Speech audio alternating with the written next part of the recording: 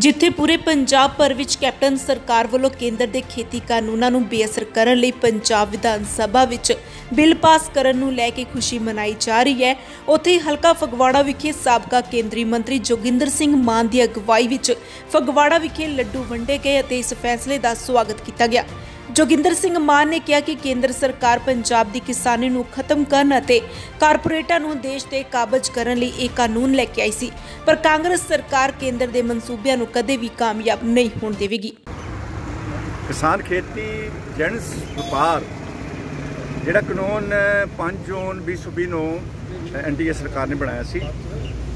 ਅੱਜ ਕੈਪਟਨ ਮਨਿੰਦਰ ਸਿੰਘ ਸਾਹਿਬ, ਮੁੱਖ ਮੰਤਰੀ ਪੰਜਾਬ ਔਰ ਸਾਰੀ ਕੈਬਨਿਟ ਸਾਰੇ ਐਮਐਲਏਸ ਨੇ ਅੱਜ ਵਿਧਾਨ ਸਭਾ ਦਾ ਅ, 20 ਅਕਤੂਬਰ 2020 ਨੂੰ ਅ, ਇਜਲਾਸ ਕਰਕੇ ਸਪੈਸ਼ਲ ਇਜਲਾਸ ਬੁਲਾ ਕੇ ਉਸ ਦੇ ਵਿੱਚ ਉਸ ਨੂੰ ਰਿਜੈਕਟ ਕੀਤਾ ਔਰ ਉਹਦੇ ਵਿੱਚ ਮਤੇ ਤਰਤੀਮ ਜਿਹੜੇ ਨੇ ਉਹ ਉਹਨਾਂ ਨੇ ਪੇਸ਼ ਕੀਤੇ ਨੇ ਔਰ ਖਾਸ ਕਰਕੇ ਉਹਨਾਂ ਨੇ ਜੋ ਐਮਐਸਟੀ ਹੈ ਮਿਨੀਮਮ ਪ੍ਰਾਈਸ ਜਿਹੜੀ ਹੈਗੀ ਹੈ ਉਸ ਫਸਲ ਕਣਕ ਦਾ ਝੋਨਾ ਉਸ ਤੋਂ ਘੱਟ ਨਹੀਂ ਵੇਚਣਾ ਔਰ ਉਸ ਤੋਂ ਵੱਧ ਐਮਐਸਸੀ ਤੋਂ ਵੱਧ ਜਾਂ ਉਸ ਤੋਂ ਉੱਪਰ ਦੀ ਕੀਮਤ ਦੇ ਵਿੱਚ ਕਿਸਾਨਾਂ ਨੂੰ ਕੀਤਾ ਗਿਆ। ਖਾਸ ਕਰਕੇ ਜਿਹੜਾ ਇਲੈਕਟ੍ਰਿਸਿਟੀ ਬਿੱਲ ਜਿਹੜਾ ਉਹਦੇ ਵਿੱਚ ਸੋਧ ਵੇਲੇ ਨਾਲ ਲੈ ਕੇ ਆਂਦੇ ਉਹਨੂੰ ਉਹਨੂੰ ਬਿਲਕੁਲ ਰਿਜੈਕਟ ਕੀਤਾ। ਔਰ ਮੈਂ ਸਮਝਦਾ ਕਿ ਕਿਸਾਨੀ ਪਿਛਲੇ 20 ਦਿਨ ਤੋਂ ਕਿਸਾਨ ਜਿਹੜੇ ਨੇ, ਪੰਜਾਬ ਦੇ ਕਿਸਾਨ, ਪੰਜਾਬ ਦਾ ਮਜ਼ਦੂਰ ਔਰ ਆੜਤੀਆ ਜਿਹੜਾ, ਇਸ ਸਿਸਟਮ ਦੇ ਦੇ ਵਿਰੁੱਧ ਜਿਹੜਾ ਹੜਤਾਲ ਚੱਲ ਰਹੀ ਸੀ, ਰੇਲ ਰੋਕੀ ਹੈ, ਸੜਕ ਰੋਕੀ ਹੈ, ਔਰ ਮੰਡੀਆਂ ਬੰਦ ਨੇ ਸਾਰੀਆਂ ਝੋਨੇ ਦੀ ਖਰੀਦ ਜਿਹੜੀ ਹੈ, ਸੱਚੋ ਪੰਜ ਹੈ। ਹਰਿਆਣਾ ਸੂਬੇ ਤੋਂ ਜਿਹੜੀ ਹੈ ਐਮਐਸਟੀ ਨਾਮ ਮਿਲਣ ਕਰਕੇ ਜਿਹੜੀ ਆ ਉਹ ਜਿਹੜਾ ਝੋਨਾ ਇੱਥੋਂ ਆ ਰਿਹਾ, ਉਹ ਸਾਰੇ ਦੇ ਵਿੱਚ ਸ਼ੋਧ ਕਰਕੇ ਮਤੇ ਜਿਹੜੇ ਤਰਤੀਬ ਕੀਤੇ ਨੇ। ਫਸਲੋਪਾਲ ਤੇ ਜਿਸ ਸਮੇਂ ਪਹਿਲੇ ਅੱਗੇ ਸੀ, ਇਸ ਨੂੰ ਰਿਜੈਕਟ ਕਰ ਜਿਹੜੇ ਮਤੇ ਸੋਧੇ, ਮਤੇ ਜਿਹੜੇ ਨੇ ਉਹ ਕੁਝ ਪੇਸ਼ ਕੀਤੇ ਨੇ। ਅੱਜ ਬਹੁਤ ਵੱਡਾ ਇਤਿਹਾਸਕ ਦਿਨ ਦੇ ਉੱਤੇ, ਅੱਜ ਦੇ ਦਿਨ 20 ਜਿਹੜਾ ਅਕਤੂਬਰ ਹੈਗਾ 2020 ਜਿਹੜਾ ਇਤਿਹਾਸਕ ਦਿਨ ਦੇ ਉੱਤੇ ਇਤਿਹਾਸਕ ਫੈਸਲਾ ਕੈਪਟਨ ਮਨਿੰਦਰ ਸਿੰਘ ਸਾਹਿਬ ਨੇ ਪੇਸ਼ ਕੀਤਾ। ਉਹਨਾਂ ਦੇ ਨਾਲ ਸਾਰੇ ਵਿਧਾਨ ਸਭਾ ਦੇ ਜਿਹੜਾ ਹਾਊਸ ਪ੍ਰੋਪਰ ਹਾਊਸ ਜਿਹੜਾ ਪੂਰੇ house leader of the house ਨੇ ਕੈਪਟਨ ਸਾਹਿਬ, ਮੁੱਖ ਮੰਤਰੀ ਕੋ ਹੁੰਦੇ ਨੇ, ਉਹਨਾਂ ਨੇ ਆਪਣੇ ਵੱਲੋਂ ਪੇਸ਼ ਕਰਕੇ ਸਾਰੀਆਂ ਆਪੋਜੀਸ਼ਨ ਪਾਰਟੀਆਂ ਨੇ ਪਾਵਾਂ ਉਹਨਾਂ ਦੇ ਵੱਖਰੇ ਵੱਖਰੇ ਮੁੱਦੇ ਨੇ, ਵੱਖਰੀ ਵੱਖਰੀ ਅਪਰੋਚ ਆ ਅੱਜ ਉਹਨਾਂ ਨੇ ਸਾਰਿਆਂ ਦਾ ਏਕਤਾ ਦਾ ਸਬੂਤ, ਜਿਸ ਤਰ੍ਹਾਂ ਪੰਜਾਬ ਦੇ ਵਿੱਚ ਪਾਣੀ ਦੇ ਬਿੱਲ ਦੇ ਉੱਤੇ ਸਾਰੀਆਂ ਪੋਲੀਟੀਕਲ ਪਾਰਟੀਆਂ ਨੇ ਇਕੱਠੇ ਹੋ ਕੇ ਪਾਣੀ ਦੇ ਬਿੱਲ ਨੂੰ 2004 ਨੂੰ ਰਿਜੈਕਟ ਕੀਤਾ ਸੀ ਮੈਂ ਸਮਝਦਾ ਕਿ ਉਹ ਜਿਹੜੀ ਪ੍ਰਥਾ ਜਿਹੜੀ ਅੰਗਰੇਜ਼ਾਂ ਵੇਲੇ ਬ੍ਰਿਟਿਸ਼ ਕੰਪਨੀ ਆ ਕੇ ਹਿੰਦੁਸਤਾਨ ਤੇ ਕਾਬਜ ਹੋਈ ਸੀ, ਅੱਜ ਕਾਰਪੋਰੇਟ ਘਰਾਣੇ ਜਿਹੜੇ ਅੰਬਾਨੀ, ਅੰਡਾਨੀ ਨੂੰ ਇਸ ਖੇਤੀ ਸਿਸਟਮ ਦੇ ਵਿੱਚ ਇਸ ਨੂੰ ਵਪਾਰਕ ਧੰਦਾ ਅਨਾਉਂਸ ਕਰਦੇ ਹੋਏ, ਵਪਾਰ ਅਨਾਉਂਸ ਕਰਦੇ ਹੋਏ ਉਹਨਾਂ ਦੀ ਜਿਹੜੀ ਪੰਜਾਬ ਜਾਂ ਖੇਤੀ ਪ੍ਰਧਾਨ ਜਿਹੜੇ ਸੂਬੇ ਨੇ, ਉਹਨਾਂ ਵਿੱਚ ਐਂਟਰੀ ਜਿਹੜੀ ਕਰਾਈ, ਕਰਾਉਣ ਦੇ ਬਿੱਲ ਲਾ ਕੇ ਆਂਦੇ ਸੀ, ਉਹਨਾਂ ਦੀ ਰੋਕ ਵਾਸਤੇ ਸਰਕਾਰ ਨੇ ਜੋ ਤਰਤੀਮਾਂ ਰਿਜੈਕਟ ਕਰਕੇ ਤਰਤੀਮਾਂ ਪੇਸ਼ ਕੀਤੀਆਂ ਨੇ। ਮੈਂ ਸਮਝਦਾ ਕਿ ਅੱਜ ਕਾਂਗਰਸ ਪਾਰਟੀ ਦੇ ਸ਼ਹਿਰੀ ਸਾਡੇ ਲੇਡੀਜ਼ ਜਿਹੜੇ ਮਹਿਲਾ ਵਿੰਗ ਜਿਹੜੇ ਸਰਪੰਚ ਸਾਹਿਬ ਨੇ, ਉਹਨਾਂ ਸਾ- ਨੌਜਵਾਨ ਸਾਥੀ, ਯੂਥ ਦੇ ਨੇ, ਉਹਨਾਂ ਸਾਰਿਆਂ ਨੇ ਇਕੱਠੇ ਹੋ ਕੇ ਇਸ ਬਿੱਲ ਦੀ ਰਿਜੈਕਸ਼ਨ ਔਰ ਸੋਧਾਂ ਦਾ ਸਮਰਥਨ ਕਰਦੇ ਹਾਂ ਔਰ ਅਸੀਂ ਸਮਝਦੇ ਹਾਂ ਕਿ ਜਿਹੜਾ ਪੰਜਾਬ ਹੈ, ਖੇਤੀ ਪ੍ਰਧਾਨ ਸੂਬਾ, ਪੰਜਾਬ ਸਾਰੇ ਹਿੰਦੁਸਤਾਨ ਦਾ ਢਿੱਡ ਭਰਦਾ ਰਿਹਾ। ਜਦੋਂ ਇਸ ਵਿੱਚ ਕਮੀ ਸੀ ਵੀਡ ਦੇ ਵਿੱਚ ਕੋਈ ਸ਼ਾਰਟੇਜ ਆਈ ਆ, ਤਾਂ ਉਸ ਵੇਲੇ ਪੰਜਾਬ ਨੇ ਇੱਕ ਇੱਕ ਜਿਹੜਾ ਗ੍ਰੀਨ ਰੈਵੋਲੂਸ਼ਨ ਲੈ ਕੇ ਆਂਦਾ ਵਾਈਟ ਰੈਵੋਲੂਸ਼ਨ ਲੈ ਕੇ ਆਂਦਾ ਬਲੂ ਰੈਵੋਲੂਸ਼ਨ ਲੈ ਕੇ ਆਂਦਾ। ਪੰਜਾਬ ਦੀ ਖੇਤੀ ਦੇ ਵਿੱਚ ਜਿਸ ਤਰ੍ਹਾਂ ਯੂਟਿਲਾਈਜ਼ ਕੀਤਾ ਪੰਜਾਬ ਦੀ ਧਰਤੀ ਨੂੰ, ਪਾਣੀ, ਹਵਾ ਔਰ ਜ਼ਮੀਨ ਜਿਹੜੀ ਆ ਅਸ਼ੁੱਧ ਹੋਈ ਆ। ਅੱਜ ਜਦੋਂ ਪੰਜਾਬ ਆਪਣੇ ਉੱਤੇ ਖੇਤੀ ਤੇ ਨਿਰਭਰ ਹੋਇਆ, ਦੂਜੀਆਂ ਸਟੇਟਾਂ ਨੂੰ ਜਿਹੜਾ